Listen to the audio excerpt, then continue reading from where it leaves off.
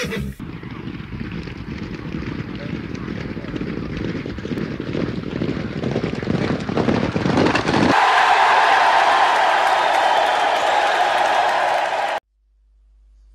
this is Mr. Gamble from Red Hot Race Tips. It's Saturday, the 23rd of December, and in 2018 we're going to be starting our daily tips again. But let us see if we can't find something today that's be able to contribute for Christmas. Again, as always, don't ever bet money that you can't afford to lose. But at Haydock today, there is a horse running in the 245 called Three Faces West. Now we'll put that onto the expert level as always. Click on any of the statistical information to find anything else that uh, you're, you're looking for, you may be interested in. But we believe that this horse has got well over £15 in hand today. He is simply a class above these.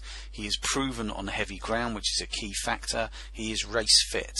He jumps well, he jumps low, he jumps fast. He travels well. He is with a brilliant trainer. He's got the best jockey in the country on board.